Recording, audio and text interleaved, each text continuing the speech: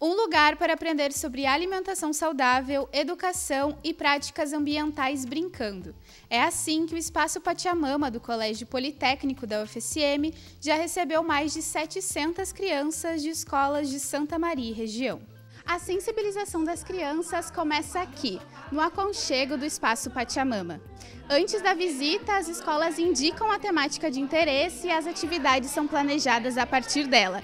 E os temas são os mais variados, desde alimentação saudável até a reciclagem. O seu jacaré, por exemplo, feito a partir de caixa de ovos, mostra de uma forma divertida o reuso de materiais. Já a poluição da água é ensinada por meio de jogos educativos precisa iniciar no, na, na, mais tenra idade, né, com essa com esse tipo de, de informação, porque é onde eles estão formando as opiniões, estão formando o seu caráter. Elas têm essa oportunidade de ver um lugar diferente, de, de aumentar, né, de ampliar os conhecimentos delas nesse outro lugar.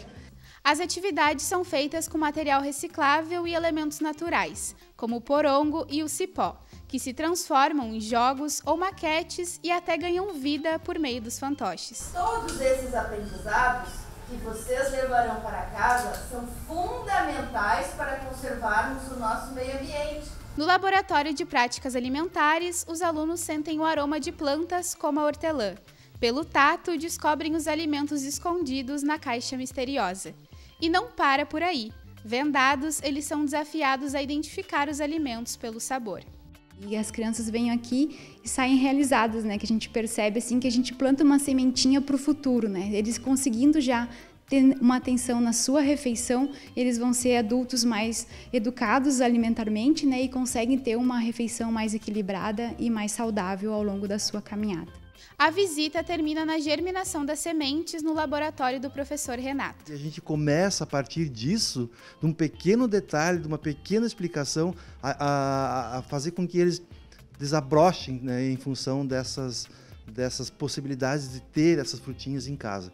Então, um dos objetivos também é atender essa necessidade uh, de pomares uh, domésticos. Eu vou tentar cuidar mais das plantas, tentar conseguir criar mais algumas plantas. Vou tentar criar um pé de caque, que eu tenho a sementinha. Quando crescer, quando me formar, eu queria vir aqui para poder estudar nessa universidade muito legal aqui. Eu achei tudo muito legal. Depois de todo o circuito, os pequenos aprenderam o significado da palavra Pachamama, que dá nome ao espaço, a Mãe Terra e todas suas formas de vida. Que isso possa reverberar em ações concretas, desde a separação seletiva que é feita na escola, nas residências e para todas as outras formas de ação do dia a dia que evitem a poluição, a degradação e que tragam principalmente essa noção de pertencimento né, a esta Mãe Terra. E a forma da gente ter esse cuidado, esse zelo para que esses recursos permaneçam para nós e para as gerações futuras. O projeto é um espaço de aprendizado para as crianças e também para os acadêmicos da UFSM. Eu queria principalmente conseguir compartilhar o que eu recebia de informação dentro da sala de aula para fora dela. A gente recebe as crianças até aqui e eu acredito que não tem público melhor do que elas, justamente porque tem essa troca muito fácil, elas são muito receptivas.